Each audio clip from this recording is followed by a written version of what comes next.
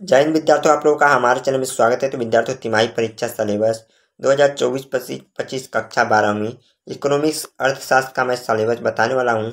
तिमाही परीक्षा में आपको कौन कौन से सब्जेक्ट से कौन कौन बुक से मतलब कितना चैप्टर आने वाला है तो इस वीडियो पूरा बता दूँगा।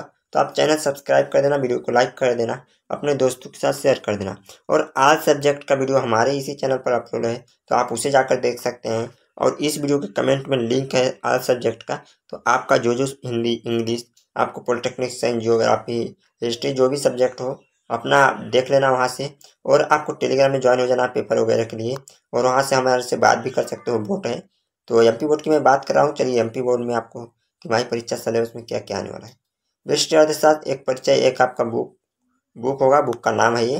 तो समिष्ट अर्थशास्त्र बेस्ट अर्थशास्त्र तो बेस्ट अर्थशास्त्र बुक से कौन कौन से चैप्टर आने वाले हैं। अध्याय एक, जो कि आपका बुक का नाम है बेस्ट अर्थशास्त्र इससे आपको अध्याय एक।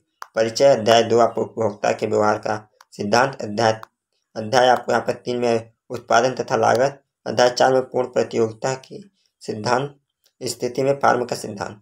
तो इसे तैयार करना जो कि एक बेस्ट अर्थशास्त्र वाला पूरा बुक आएगा। ठीक है? प्रायोगिक कार्य में आपको आंकड़े स्रोत और संकलन, आंकड़ों का प्रकरण, आंकड़ों का आलेखन ये आने वाला है मतलब कि आपको वेस्ट अर्थशास्त्र वाला पूरा बुक ही आने वाला है तिमाही परीक्षा में। और समिष्टि अर्थशास्त्र वाला भी नहीं आएगा तो इसे ज़रूर तैयार कर लेना। इसके बाद आपको यहाँ पे इतना ही आपको तैयार करना है चार चैप्टर जो कि आपको एक बुक पूरा है। तो आई होप कि आपको समझ आ गया होगा। जो भी डाउट हो कमेंट करके पूछे, चैनल सब्सक्राइब कर दीजिए, वीडियो को लाइक कर देना। फिर मिलते हैं नेक्स्ट वीडियो के लिए